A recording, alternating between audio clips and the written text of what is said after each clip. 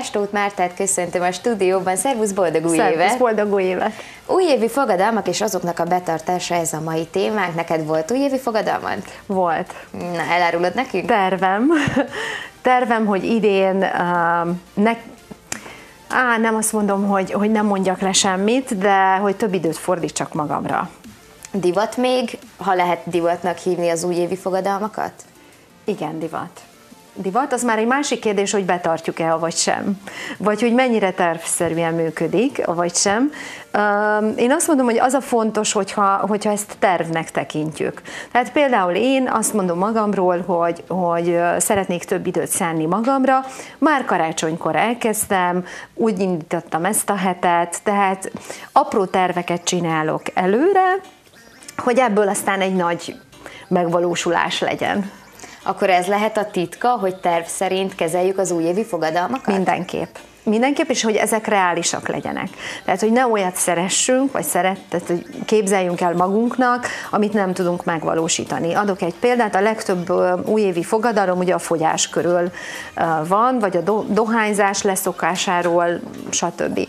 Tehát, hogy ne nagy mennyiséget gondoljuk, mondjuk 10 kilót szeretnék januárban lefogyni, mert ez lehet, hogy működik, de akkor az nem egy egészséges terv hanem mondjuk azt, hogy minden hónapban egy-két kilót szeretnénk lefogyni, és ezt minden hónapban vezessük, mint egy tervet egész évben. Mik a leggyakoribb fogadalmak? Inkább az anyagi dolgok, a, tárgyi kötődés, vagy a személyiség fejlesztése? Mik a leggyakoribb fogadalmak?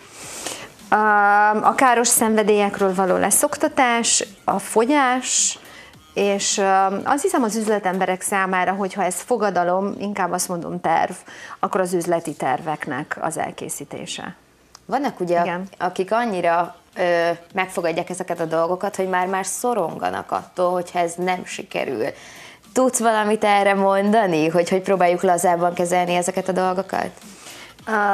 Az újévi fogadalmakat jó, ha nem publikusan tesszük, hanem saját magunknak és elkezdünk mondjuk egy naplót vezetni, leírni minden nap a sikereinket, akár ahhoz kapcsolódóan, amit megfogadtunk magunknak, vagy azt a tervet, amit kitűztünk magunknak, vagy egyébként apró sikereket. Tehát, hogy bármilyen belső feszültséget úgy tudunk leginkább megoldani, ha visszatekintünk az aznapi sikereinkre, és meg is jutalmazzuk magunkat. Apró dolgokkal, de tegyük meg.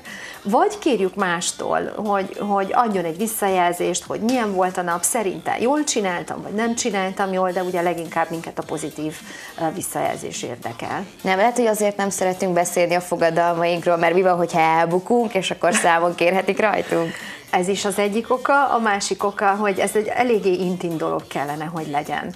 Um, tegyük fel a, a, a fogyást. Tehát az, hogy szeretnénk lefogyni, um, ez igencsak ránk tartozik, hogy mennyit, mit teszünk meg érte, vagy ha nem is ránk tartozik, akkor mondjuk a legközelebbi barátnővel beszéljük ezt meg, vagy családtagunkkal, de nem publikusan tesszük ezt mondjuk Facebookra, hogy most leszeretnék fogyni 10 kilót. Mi lehet az oka annak, hogyha elbukunk, ha mondhatom ilyen csúnyán? A több oka is lehet. Az egyik az, hogy túl magasra céloztunk, túl kevés időt adtunk magunknak a megvalósításához. Nem gondoltuk komolyan, és ezért nem kell, hogy büntessük magunkat, mert Istenem, gondolhatunk ma így, holnap meg úgy. Tehát, hogy ebből nincs semmi probléma, ha mondjuk két hét alatt meggondoljuk magunkat. Tekintsük úgy, hogy ez egy hangulati fogadalom volt. És ez is rendben van. Tehát, hogy néha megengedhetjük magunknak azt a luxust, hogy másképp gondoljuk holnap, amit ma egyébként. Akkor belefér egy kis visszaesés? Bele. Sőt, azt mondom, hogy néha hagyni kell egy kis visszaesést, hogy örüljünk a mindennapoknak. Tehát fogyókurában igen, lehet sütit enni. Nem mindig, nem minden nap, de ha olyanunk van, hogy, hogy attól boldognak éreznénk magunkat, akkor egy sütivel igenis megjutalmazhatjuk magunkat, ha már fogytunk két kilót. És a káros szenvedélyekre ez azért nem vonatkozik? Tehát aki mondjuk a cigarettáról szeretne leszokni, az... A cigaretta leszoktatását mindenféleképpen fokozatosan kell bevezetni. Miért? A, a cigarettázás, főleg akinek káros szenvedélye, van, akinek meditációt jelent, és hogyha azt mondja márul holnapra, hogy vége, én leteszem a cigarettát, és soha többet, megfosztja magától attól a pihenéstől, amely egyébként fontos volt a szervezete számára. Például a meditáció. Tehát volt, aki csak szó szerint így üres fejjel, nem gondolkodva semmin cigarettázik, az megnyugtatja. Most, ha elveszed ezt a nyugtatót tőle, akkor más dolgok fognak előjönni, amiket kezelni kell.